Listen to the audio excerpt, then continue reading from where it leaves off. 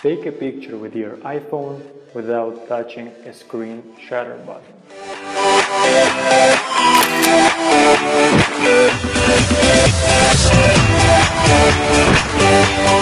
This effect was designed for iPhones and iPod touches.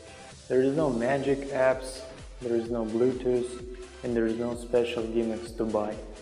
This effect is very convenient because your phone is always with you. It can be done with your iPhone or with a spectator's one.